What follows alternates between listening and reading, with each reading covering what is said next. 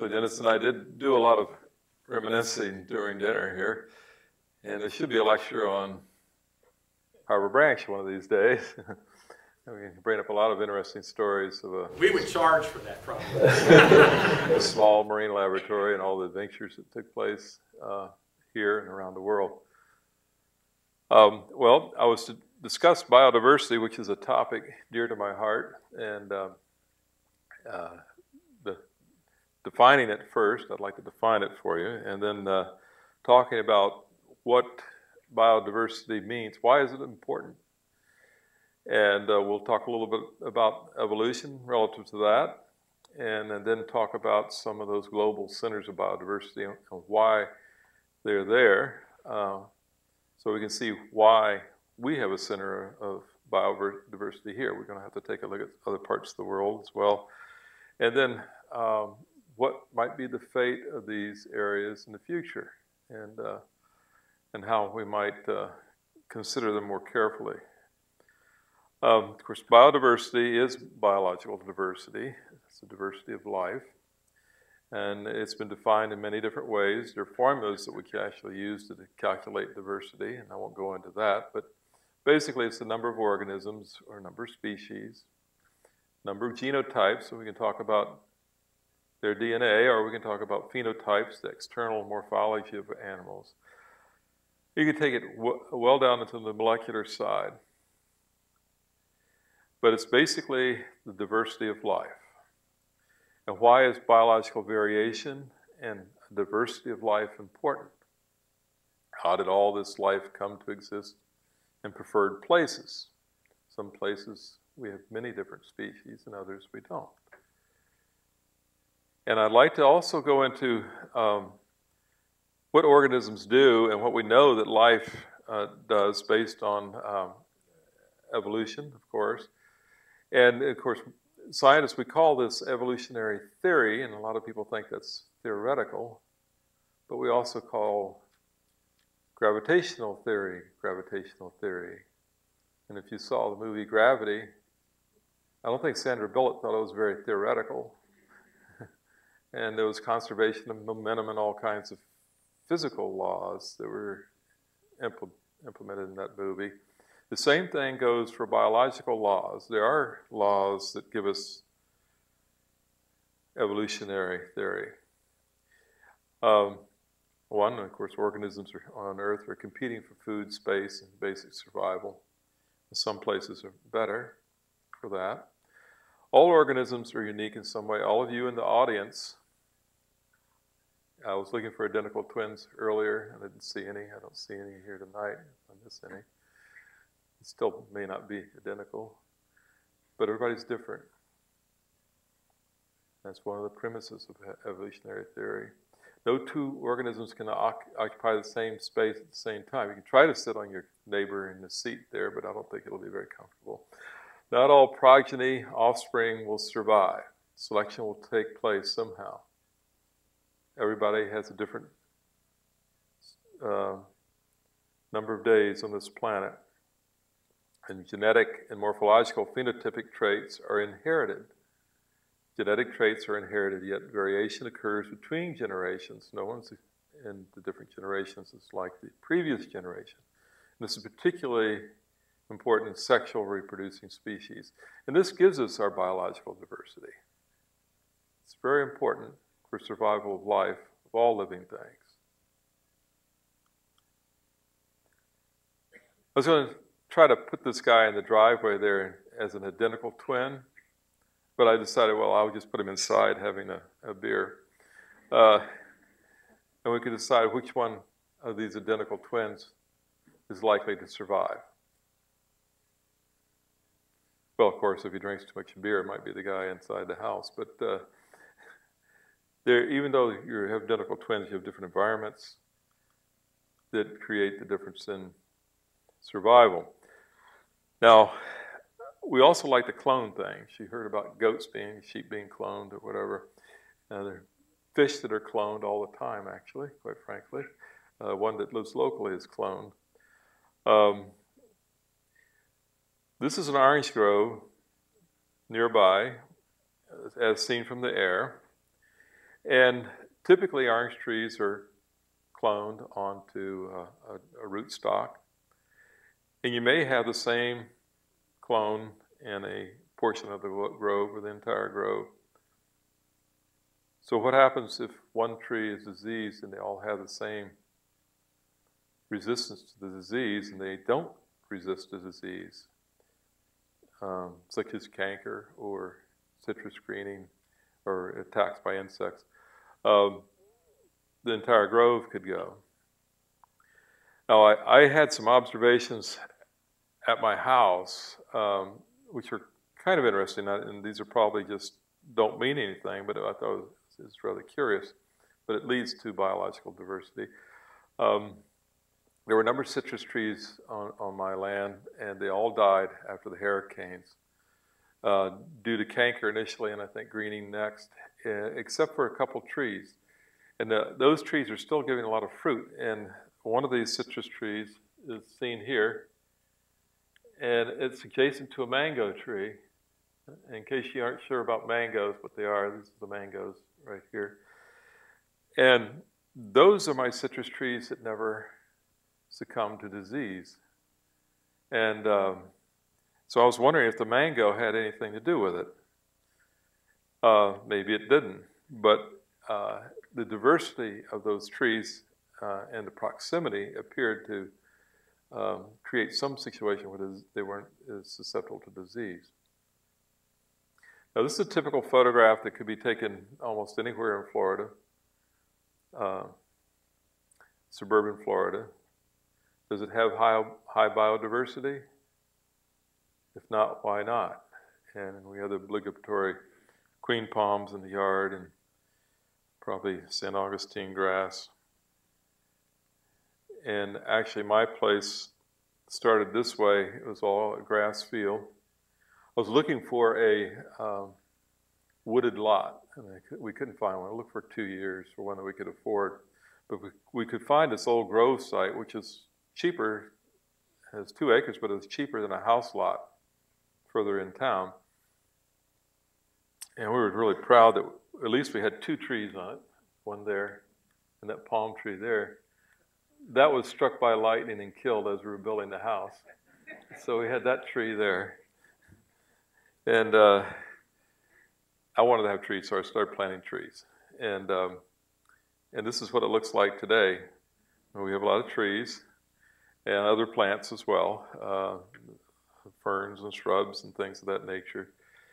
And it's a fruitful yard too. We have some fruit trees, the papaya, banana, and the, the mango I showed you earlier.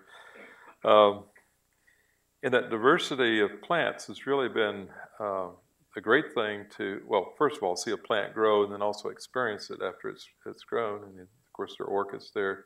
This is coral bean. This is, this is a native plant right here, uh, which grows in our hammocks. It's growing here at Harbor Branch in the hammock here. And I started putting up a few years ago wildlife infrared cameras. I got this coyote. I also had uh, bobcats and things of that nature.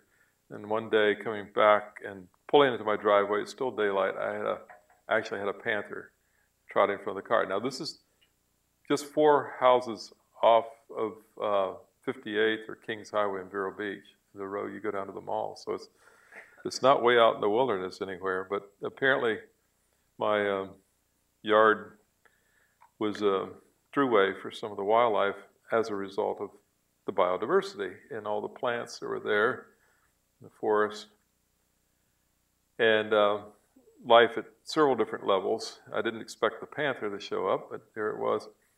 Um,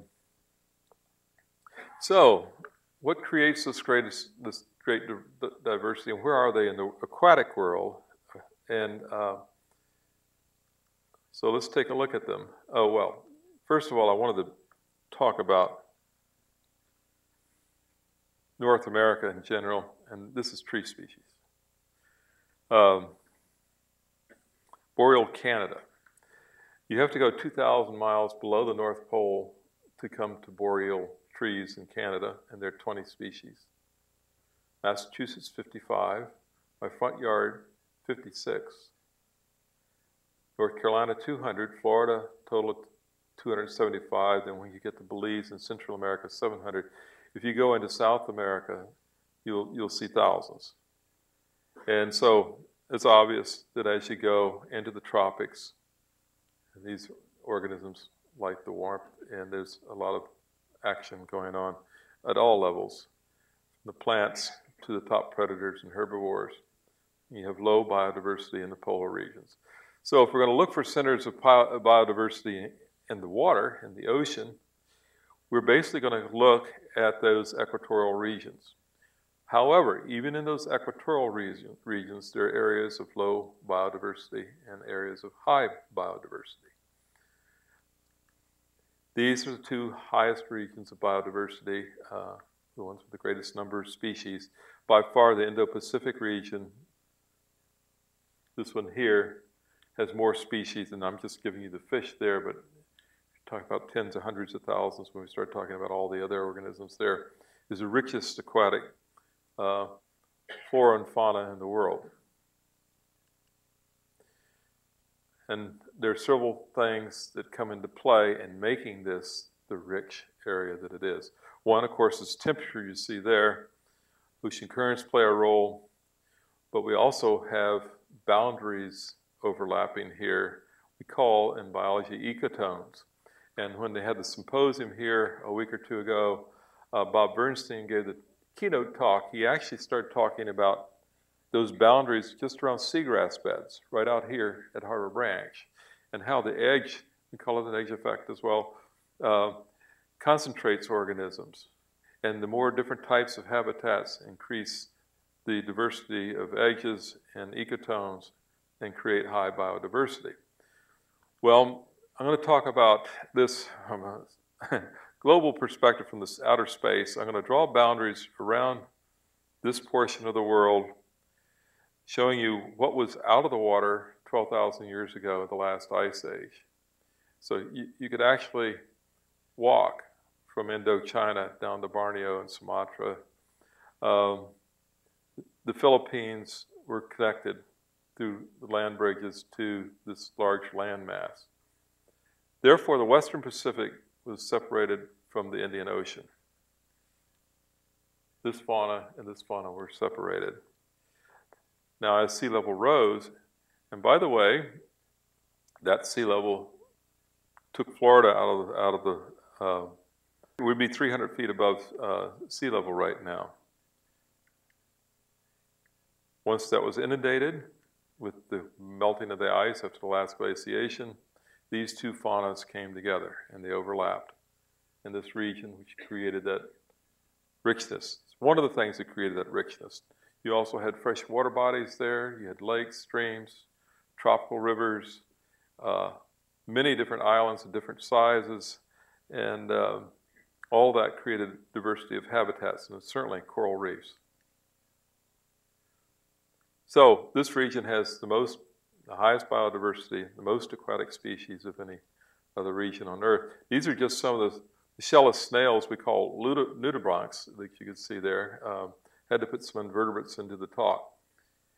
And you can see how different, and of course they're quite colorful, so it's kind of nice. I mean, they're colorful fish too, but. Um, so now if we go to our region of the world and take a look at what it was like during the last glaciation, we can see that Florida was actually twice as large as it is now. Uh, and the shoreline here was out at the place we call the Oculina Reef offshore here, where we took the submarines from Harbor Branch here out to study right along the edge there. You see the Gulf of Mexico is considerably smaller, and it was considerably cooler as well.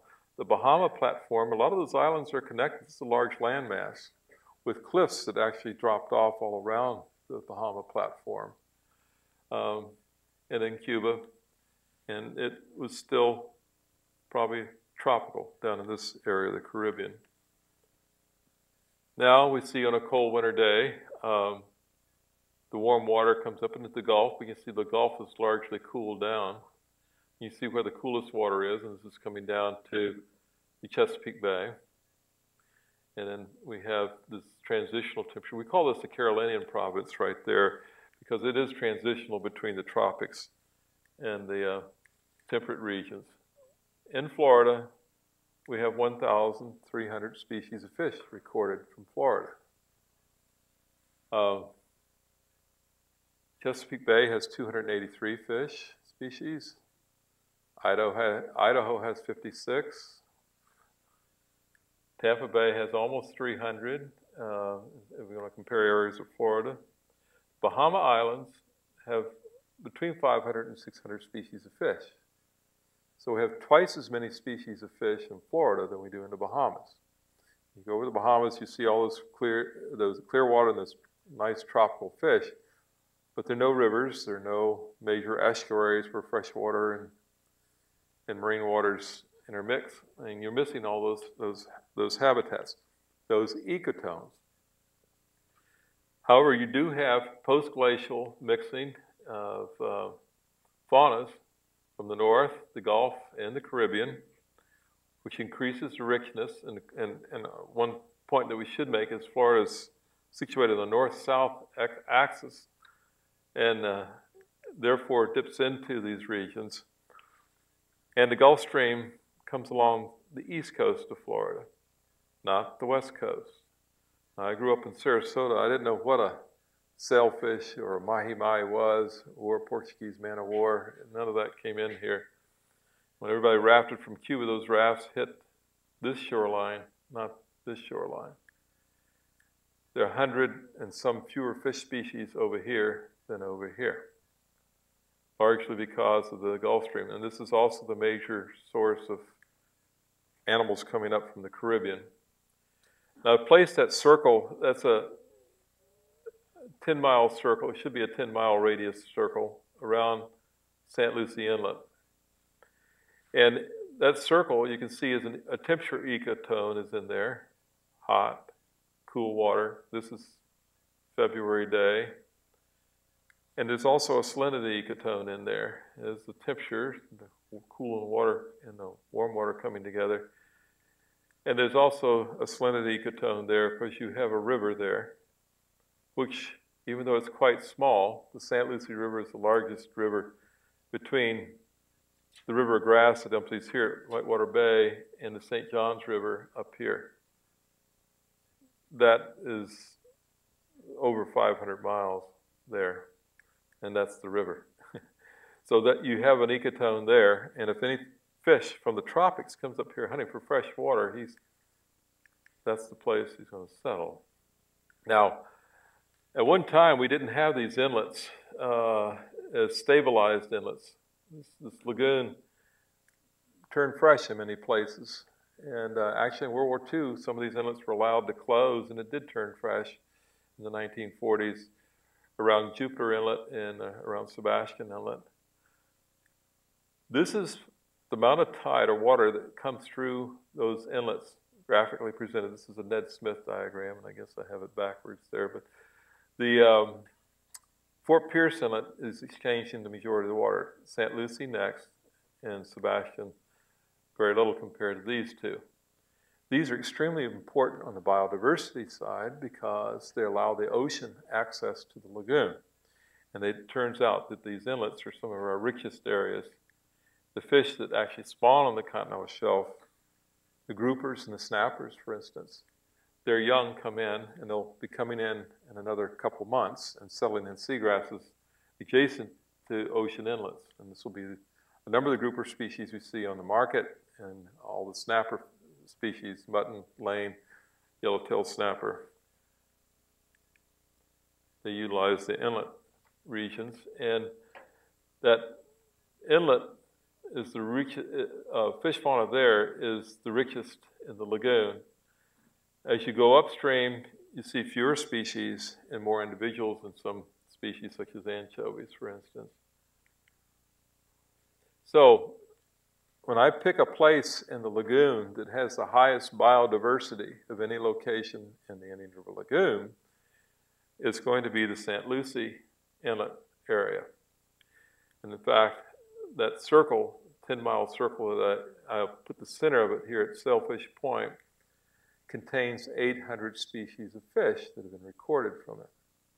Actually, over 800 fish species. Now, and uh, because of some of the exotics that have come in.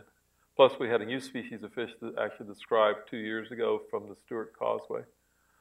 Um, the reason this is so rich is given here. These are all the different habitats. We know it's an ecotone temperature. It's a salinity ecotone. Here's the St. Lucie River. Fresh water is coming out here. Hopefully not too much fresh water out of uh, Lake Okeechobee, etc.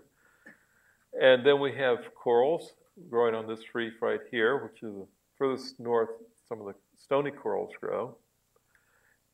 It's a state park.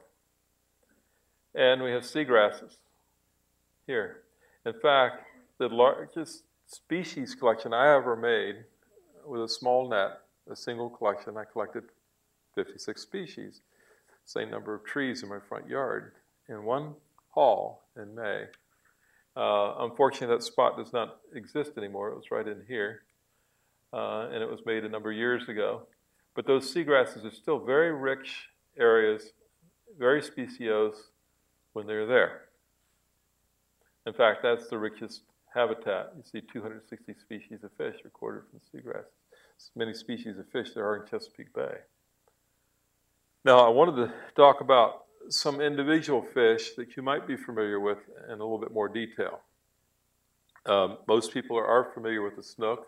Uh, the snook uh, is one of our most sought after game, sport, recreational fishes here in Florida. And we've studied it for a number of years. This, by the way, is not the common snook looking at you here. This is the sword spine snook, which is the smallest snook, which also occurs here, but has received little study. I'm going to talk about the ecophysiology of snook uh, and how that lends itself to diversity within the snook itself, uh, the, and how we might see subpopulations of snook forming. And then it's, of course, a top predator and is a primary predator in this lagoon system. It can go into freshwater freely. Uh, and then I want to talk a little bit about the evolution and the sibling species that we have here, including this guy right here, which we really know very little about. Now, most people, uh, when you say snook, think of this. And, uh, and actually, they, they reach an even larger size than this guy right here. Um, by the way, I failed to mention in the earlier talk, these fish are what we call protandric hermaphrodites. They're male first, and then they change to females later. So this is a female, her size. If uh, we had one about this far in length, it would certainly be a male. Why they change sex, when they change sex, and how they change sex, uh, under what circumstances, we don't know. We know for groupers, and I'll talk about that a little bit later, but we don't know for, for snook. And we consider it a tropical species. However, we had a cold uh, period in 1977 when I was working here at Harbor Branch, where it snowed here in Vero, it snowed in the Bahamas, it snowed in Miami. And um, and the ship channel out here cooled down top to bottom eight to six degrees through the entire column. And I, I was collecting fish, I actually published on this particular cold period, and I noticed a school of snook that uh, group actually, a number of them died at 14 degrees centigrade. However, there's still a school of snook at the seawall uh, where I was making my observations, even at temperatures at 6 degrees centigrade. So a group died at 14, then another group did not die at all, went through the whole thing. So that told me there was a, a different ecophysiology in some of these guys, that some of them were likely uh, adapted to the cooler waters.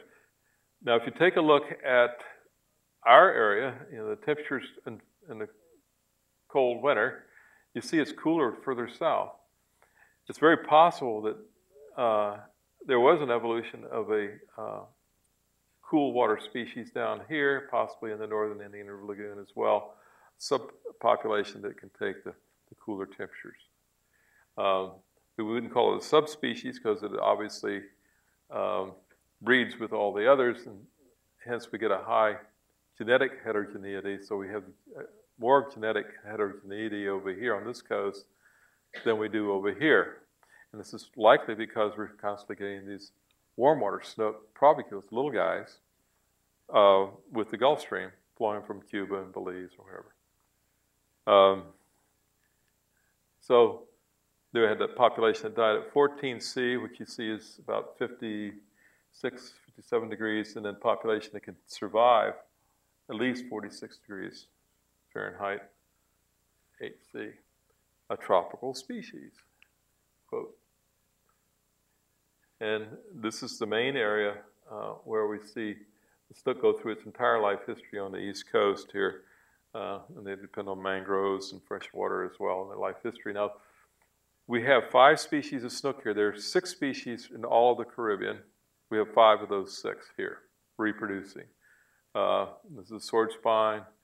This is the next most common one is the fat snook and then the tarpon snook.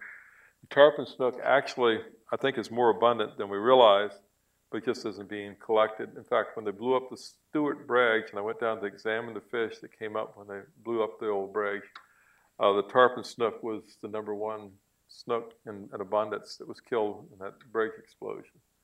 And we really don't know where it's spawning, what it's doing. We don't really know much about any of these others, but they're all occurring here in freshwater and in the uh, lower reaches of the freshwater tributaries. In case the tarpon snook out in the estuary itself. Now, one thing uh, that I noticed, you notice, well, you can notice they all have different size eyes and things of that nature, but this is the smallest one. The smallest one has the largest anal spine. They call it the sword spine, rightfully so. The tarpon snook has a fairly large spine, fairly small one on the fat snook. We think that this is for uh, escaping predation, and, and that's been the thought behind fish spines in general. So he's carrying around quite a saber. Well, who, who would be the primary predator? Well, it'd probably be the common snook, which could reach the size to eat this. And we know the common snook eats its own progeny. Uh, and so we, we, had done experiments actually with spine size and snook and predation. I'll relate that in a second. But you can see, even in the common snook, when you, when you go for it, this is my hand here, so that's a fairly small snook. Uh, the size of the spine relative to the body length is reduced the larger the fish gets. And of course, predation on this fish is far less than on this one. These seek very shallow water. You can almost predict now where they're going to settle in fresh water and in the uh, wetlands out here. Very shallow water. It has to be an area where we're going to have some flow, we're going to have plenty of prey available for them to grow fast, quickly, because they, they want to get to this size. In fact, this snook will mature in four or five months uh, if it has sufficient food. Now, with our five species of snook, we have all the spe- species of tropical mojarras that occur in North America here. This is the only place in the country that's this way. We think they co-evolved because our juvenile snook actually swim with these guys as juveniles and then eat them as adults. And this is true with a number of fish. We just found king mackerel schooling with anchovies along the beach. And that's probably, you know, of course, they'll eat the anchovies when they're large. Um, note the spine size on this one here. I actually found a snook in, the, in, de- in its death throes with this species in its mouth, with that spine through the roof of its mouth, sticking into its brain. So it does work. And, and this one's mostly associated with fresh water. And look at its spine. It's the striped Mojarra. All these Mojarras have jaws that slip out. They feed on benthic invertebrates for the most part. These are not predators on other fish, but on invertebrates in the bottom. and they're prime prey for snook. We found that actually in one experiment where we had this one and this one in the aquarium uh, without a snook, they were out over sand bottom, didn't go into seagrass. Put the snook in the aquarium, he ran into the seagrass. He never did. He says, Dare you? I have a spine. So, uh, okay, now going out to the reefs. The reefs, of course, have some of our most diverse faunas. And I, I had a bluefin tuna story in here because um, when I saw this painting, it brought back uh, a lot of memories. Um, but the first dive that the Harbor Branch submarine made with the scientists on board was our uh, physiologist Bob Meek, was directly across the Gulf Stream from us here off of Grand Bahama. he was surrounded by a school of bluefin tunas, and this painting is of the bluefin tunas as they migrate past Bimini. Bimini was a, a great place to fish for bluefin tunas, and bluefin tuna tournaments used to occur there. And if you read any of Hemingway's books, Islands in the Stream, he, he gives that account. Um, and of course, this fish is almost gone now. Uh, and uh, it's quite expensive. It's sold in a Tsukiji market in Japan. I think one bluefin rarely makes that that uh, market, but they can go for a million dollars. This is a submarine that used to be here, and we could sit in the sphere here, uh, and we had good visibility. And I was quite interested in how this submarine could be used to determine the fish populations on our reefs. How many species were they? Um, what were they doing out there? What's the ecology of the reef? And so we started working on it to try to determine how it might be able to capture fish. Uh, there were thrusters facing all directions, so the submarine could actually go up and down and around like a helicopter. Uh, then we developed suction systems. Uh, we called the critter getter. We had a chemical. We could put a sedative out to put the fish to sleep. We uh, also, I don't show it here, but we had a laser guided spear gun with nine shots and the, the laser. And the head of the spear was hollow, so we could put a sedative in there, and put the fish to sleep, or a tag and tag the fish. We've tagged sharks down to 3,000 feet. This could go to 3,000 feet. And we have about 350 dives. And every time I left the dock here on a major expedition, I came back with new species of fish.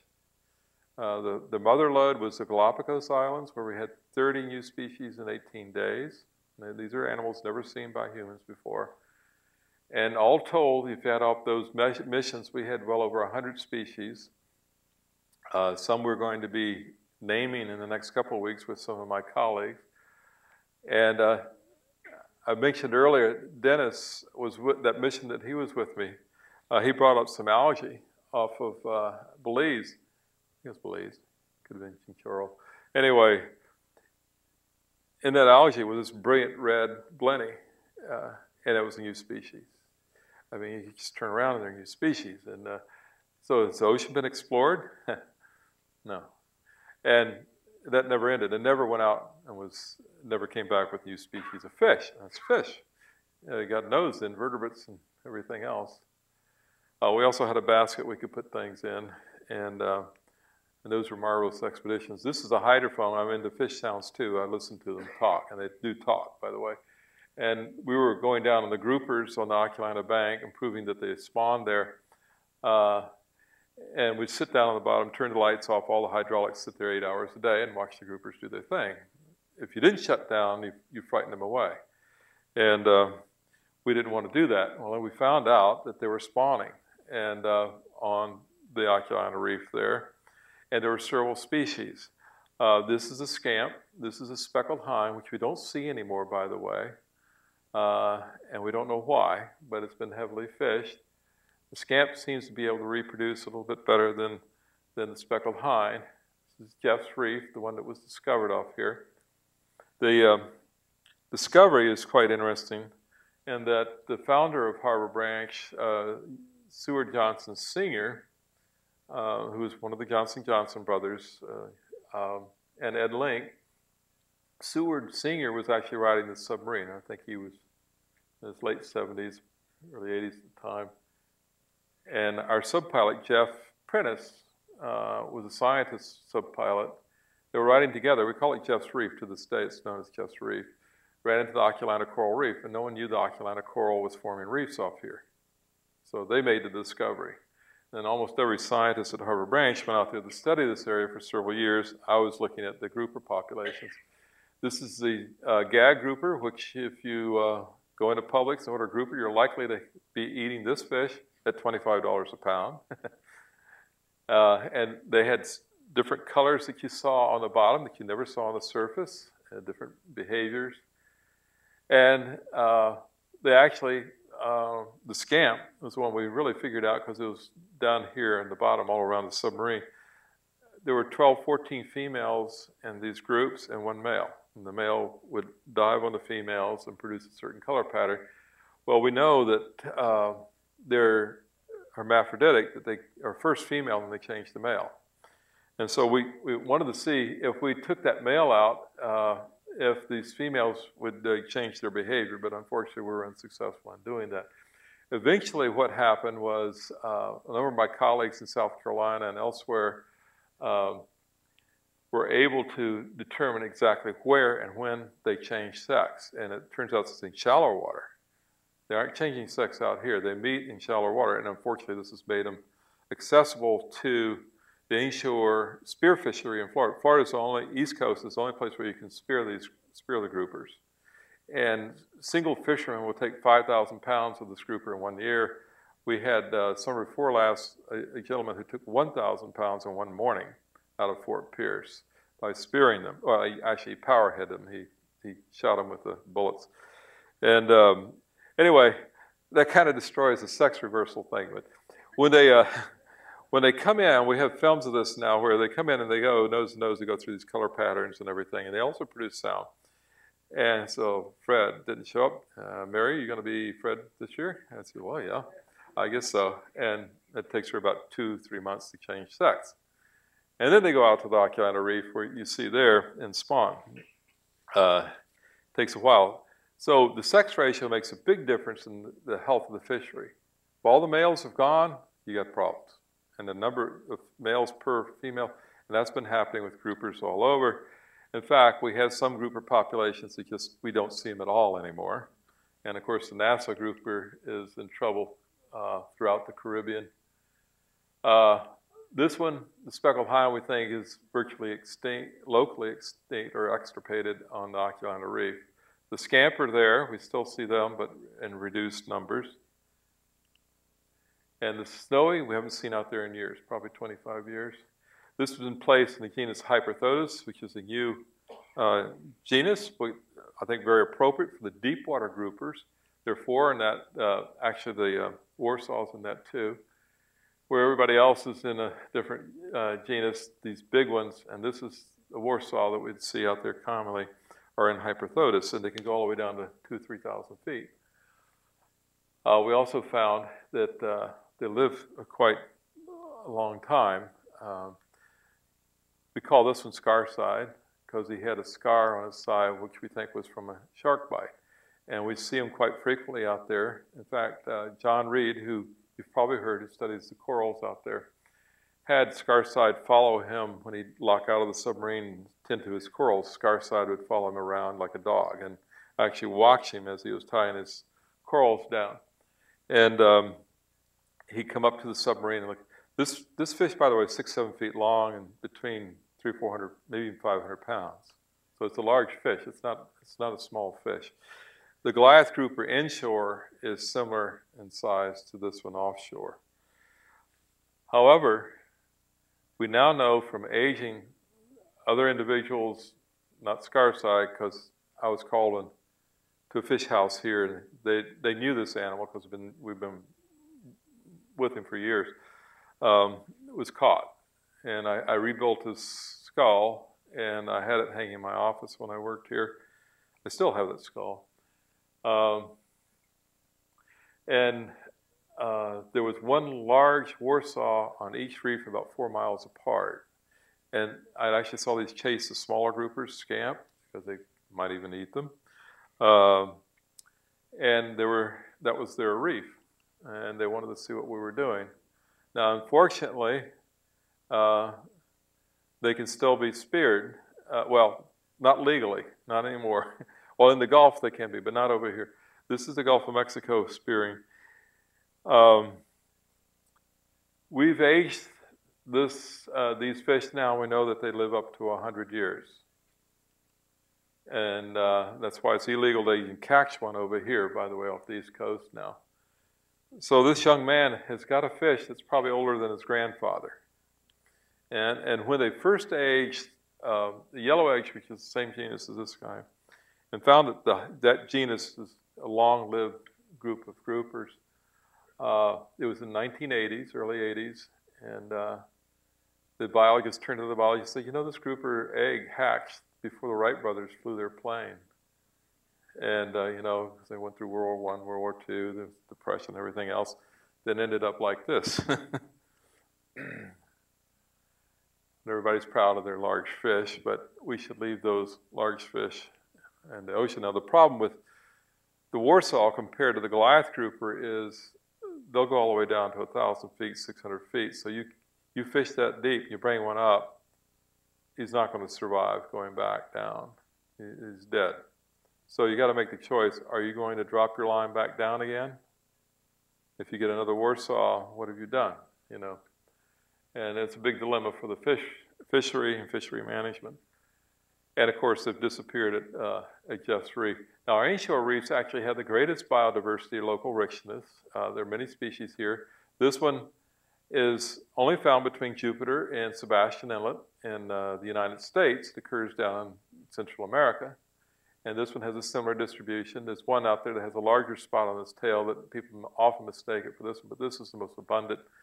Uh, this uh, spot-tailed porgy on the reefs here. And we have a number of fish that fall into that category, but there's several hundred species of fish that depend on these shallow nearshore fish uh, reef formations. Some for as nursery grounds, like some of the snappers, and some as their adult feeding grounds. Um, I'm not sure if you've seen this book. It's receiving some publicity now, but it just came out this year.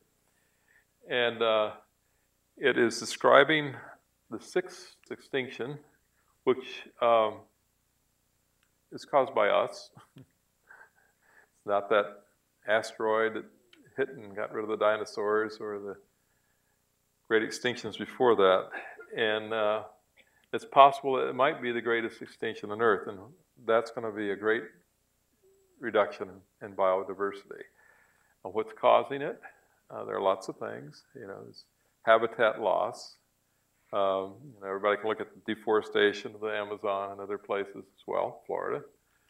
Um, and of course, some people think, well, uh, what is becoming extinct? Or what became extinct? Well, if we finish this lecture 12,000 years ago, walking out to the parking lot here, you'd have to worry about this guy.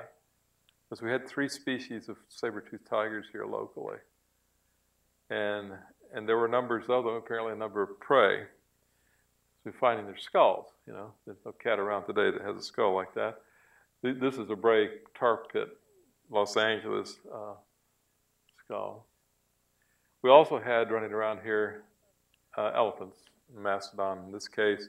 In fact, a mastodon was dug up on the south property here at Harbor Branch a number of years ago.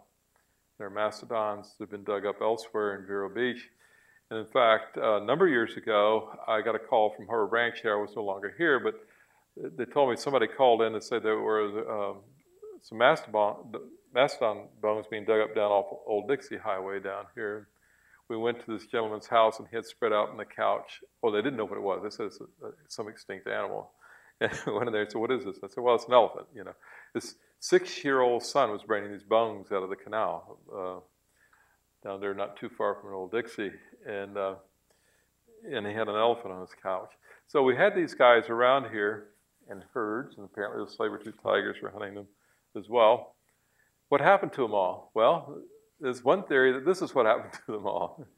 They all went to the barbecue.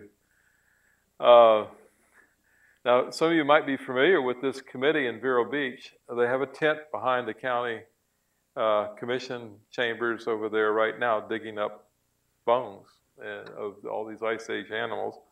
And this committee formed to help get support for that activity.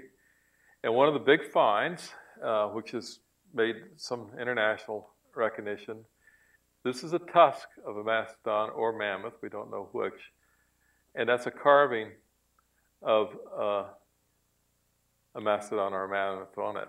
And that turned out was authenticated. In fact, they compared it to one fossil like it in the museum in London, Natural History Museum there, found out that that one was a fake, that this was most likely an original and possibly 12, 13,000 years old.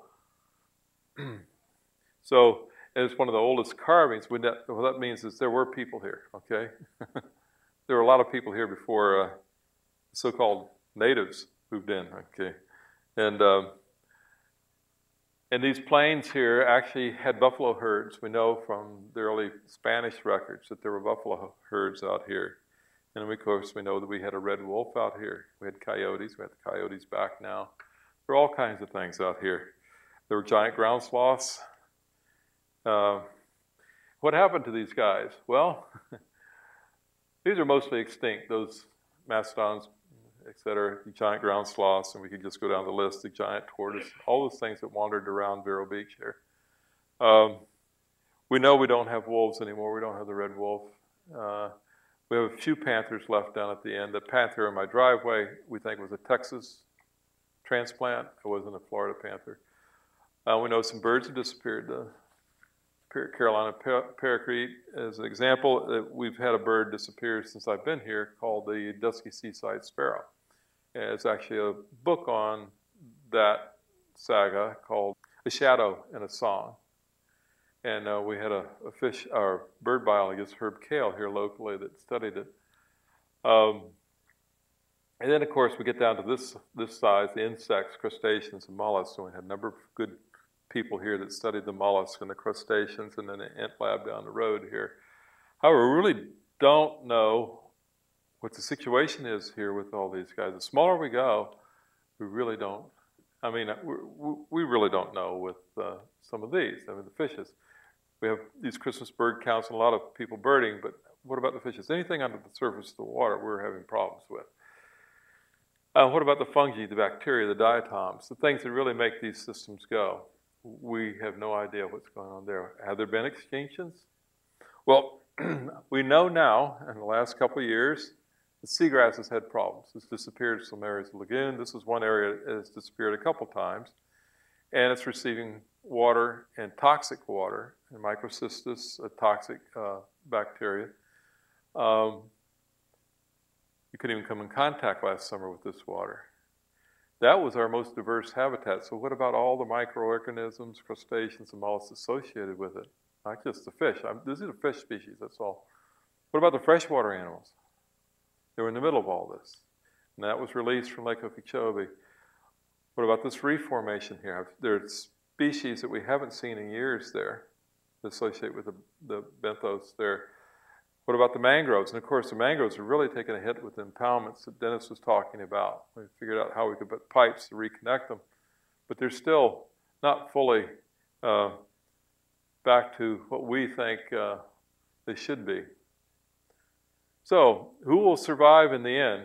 Uh, this is a big question, and the survivors, when we go down the submarine, I didn't say this in an earlier lecture, but when we go down the submarine, we see living, living fossils, things that were around all these other great extinctions took place. They lived through it all. So in the deep, dark ocean, there are survivors. How about up here? We do have some survivors. Yeah, alligators been around for a while. A number of plants have been around for a while. Cypress has been around for a while. And these ecotones that we were talking about earlier, the land-water interface is a very rigorous environment. A lot of the organisms that adapted to that environment some of the first organisms we think on Earth are still living in certain places of the Earth in this ecotone. And they've gone through all those great extinctions. They're super animals. And I'm going to introduce you to one, which I think is a super fish. He lives locally, uh, among and a lot of other places. They're wetland, we start talking about wetland species. And this is where we have to be careful with what we call quality water, because these wetlands often go without oxygen naturally. And we did physiological work with these fish. That tarpon depicted there has a lung, it can breathe air. It doesn't need the uh, air in the water. The snook, as a young snook, less than six inches, doesn't need air in the water either. It comes to surface breathe. Same thing with this little mosquito fish over here, which a snook, by the way, loves to eat that guy. In fact, um, this fish is live bear. It bears 12, 14 young or more. Uh, every two weeks they mature from birth. And if you calculate that out, you could have the biomass of the planet Earth in one year. So it's good that the snook eats this guy. In fact, we found when we started looking at snook feeding habits back in the 1970s and early 80s, we found that snook, 15 millimeters long, an inch is 25, okay? 15 millimeter snook will eat the newborn of the mosquito fish. Apparently, sitting down here waiting for her to give birth. And uh, hence, that's why she goes, reproduces as much as she does. This is also known as a guppy. You see them in aquarium stores and things like that. Okay, so high reproductive rate to keep up with that. All these fish are marvelous in that they can withstand unbelievable conditions in these wetlands. I've said several times you don't have to improve the water quality of these wetlands because they'll let mom and dad come in and eat all these guys, and you don't want that to happen. Uh, this fish has the world record. This is the sheep's head minnow. I call it the superfish. Ecophysiologically, it occurs in deserts and wetlands. Right now, this fish is under the ice in the Jersey wetland, estivating, waiting for the ice to melt. But it's also here in Indian River County right now, and we've actually collected this fish, and the colleagues of mine have collected this fish at water temperatures up to 108 degrees. It's the highest water temperature of any fish uh, on the planet. We know the ice fish can take ice, uh, not just this guy. The desert pupfish is in the same genus, and we think the desert pupfish uh, originated with this particular, uh, this is the ancestral species, Cyprinodon variegatus. If you go through the Caribbean and all the little islands, all the islands have a Cyprinodon on them. And in fact, we went to um, San Salvador, most, one of the most remote islands in the Bahamas, and there was Cyprinodon, four species in a little lake there that had never been seen before. One made a living eating scales off its siblings, and uh, yeah, nothing else to eat. And then uh, another one, uh, it was like the alien. You know how the alien will open up and then this jaw flips out. That's it looks like he has teeth, and then his jaw flips out. I wonder what he's eating. Well, had snail heads in his gut, nothing but snail heads. So he's going up these snails and whipping their heads off. That's what he was doing. So he ended up with uh, four species in this little lake in San Salvador. Uh, the only fish that could actually survive in those lakes because of the conditions, and they um, radiated uh, into several different species. By the way, this guy eats on the bacteria mats over here in the wetlands. It feeds on these open bottoms. And um, it forms, and this is our studies in several different impoundments here, the greatest biomass of any of the fishes in the wetland. The next is the mullet. This, uh, the mullet's here, uh, which goes in and out of these things. This one lives in there. And as it turns out, where you had a high mangrove cover, this is a mangrove forest. There were very few fish. Where you had open meadows, salt salterns, there were large numbers of this fish.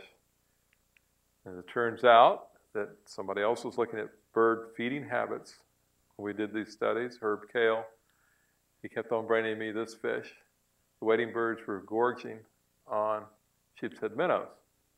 So the wading birds needed this fish. They also needed the open area in which to feed on them. And it was this bacterial mat, which anybody look at it says, there's nothing out there. There's nothing out there. Well, that's reproducing like this, and these fish are these chunky little fish are just eating it, and then they're being eaten by the wading birds. I don't know if you're familiar with Round Island Park. The Round Island boat ramp is right up in here in Indian River County. It's across the lagoon from us. That was our study site, and it was a study site before me. It started in the 1950s. Uh, and a lot of work done with fish, mosquitoes, plants, everything in there. What we found was that that fish, the pupfish, preferred the open areas and did not like the mangrove canopy. And of course, we had a mangrove canopy study site further south.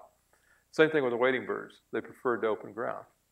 And what's been happening, this is a recent photograph, red mangroves have been encroaching on this and decreasing the diversity of the habitat.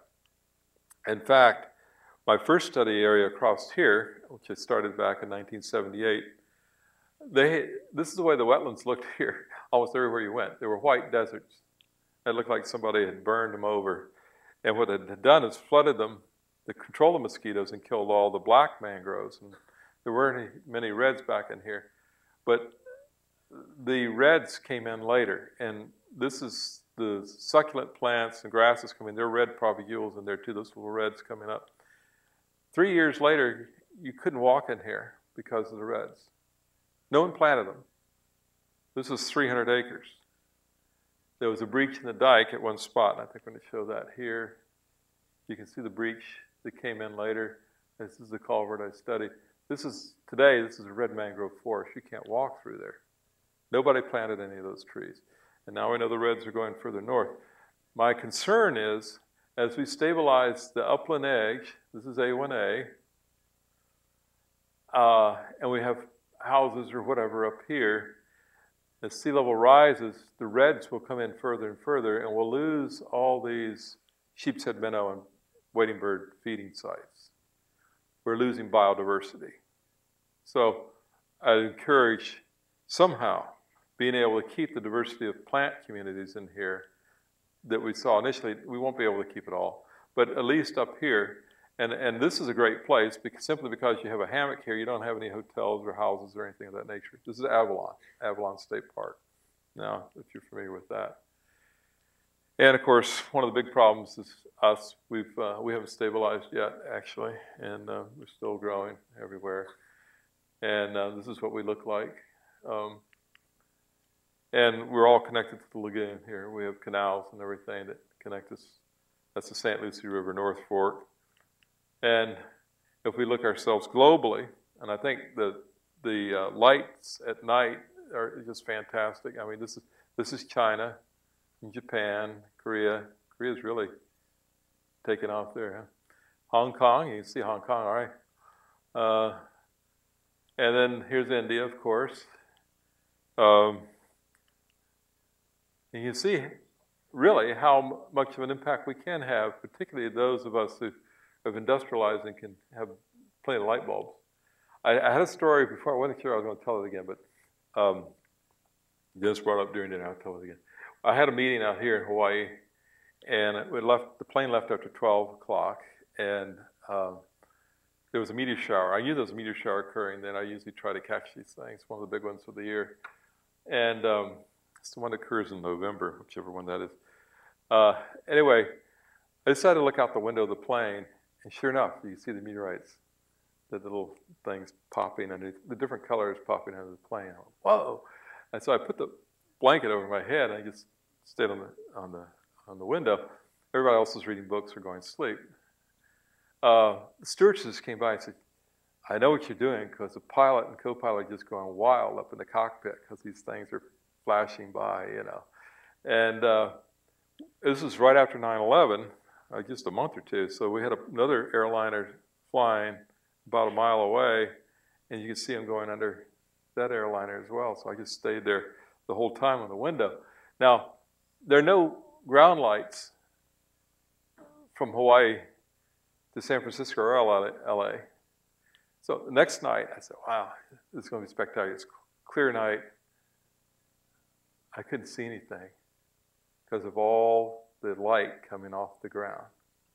All the light there, you couldn't see these little specks were popping up. So, next time you're in Hawaii, I guess you could fly that way too, you know. Do it after midnight during a meteor shower. You won't believe it. And uh, but all that light there just took it away. And you couldn't see anything in Europe either, I'm sure. You know, England, France, Spain, Germany, Italy, everything's lit up. So we do have we do have a global effect, uh, and most people think we don't. Um, this is actually a temperature profile of our atmosphere. Um, here are the highest mountains and everything. See that temperature goes down rapidly to about minus 50 degrees. That'd be pretty cold. You're freezing up here. And that's in kilometers. It's called a tropopause. And these skyscrapers don't go up in the tropopause, but uh, all the smog from those towns, and I'm talking about China, India, Japan, everywhere, okay? Let's go back to that, uh, this slide here. You see that? Our atmosphere is just a thin little strip right there. You go out and jog a couple miles, and you jog past our atmosphere. What I was going to show you here with this cloud You look up at these clouds in Florida, this way you get these big thunderheads in the summer. They might top out at 35,000 feet or might go up to 50, 40, 50,000 feet. You don't have to go that far. And you're going to need an oxygen mask. There's no air to breathe. This is all the air we need right down here. You drive from here to the traffic light on Old Dixie, you're over all the air we can breathe. That's not much. And tell me that building a coal fired plant every two to three weeks or every month in China is not affecting that. And of course, you know, we have natural things that affect it as well. And we know, we've documented what these what Mount St. Helens did or other volcanoes have done with our atmosphere. And a lot of this has gone worldwide. And we can't really blame it on these guys. Um, it's us. And then I think this is my last slide. Um, what our future will lie be like here uh, is being predicted. Um, there's one road there in Miami Beach, I guess, that goes underwater every year now. Um, I just heard that the glaciers in Greenland, uh, this one large glacier they keep track of is receding at 150 feet a day. And if it melts on a landmass like Greenland or Antarctic landmass, that's water that, when it reaches the sea, is raising sea level. And the sea level rate, when I first started work here at Harbor Branch, was 2.5 centimeters every 10 years. It's about an inch every 10 years. Now it's well over 3 centimeters per 10 years. So the rate has increased. You say, well, you know, this winter everything's going to be frozen. Well, let's look at this next week when everything's flooding, okay? And when it's 75 degrees in Chicago or whatever. Uh, the weather's crazy. Anyway, uh, I'm going to invest in uh, some signs to put out in front of my property. I'm 25 feet above sea level, so I figure I might have till the turn of the century anyway, and I could sell it. I don't know if I'll be around, but maybe my grandchildren or something. But uh, what's going to happen to biodiversity? Well, I told everybody earlier, the fish are going to have a ball, right? They really are. They're going to be checking in at the front desk right down here. And it'll be groupers. And they'll be able to change sex and do all that stuff they want to do, all right? And uh, the jacks will be up on the second or third story. And uh, they'll inherit Florida, okay? And those will be spectacular dive sites. Somebody's going to make a bundle taking people down to see the, the groupers checking people in. But uh, that's what will happen, and it looks like it is happening. Meanwhile, life on earth will continue somehow. It's for our benefit, us, that we want to conserve biodiversity right now. It's not for, and we think, well, let's, try to save the fish, okay. And uh, unfortunately, I'm not seeing much uh, there, but um, it's for our benefit. And uh, what happens is these organisms are going to inherit the earth one way or another, and there'll be more biodiversity in the future. But uh, for ourselves, we have to try to change our ways somehow. Thank you.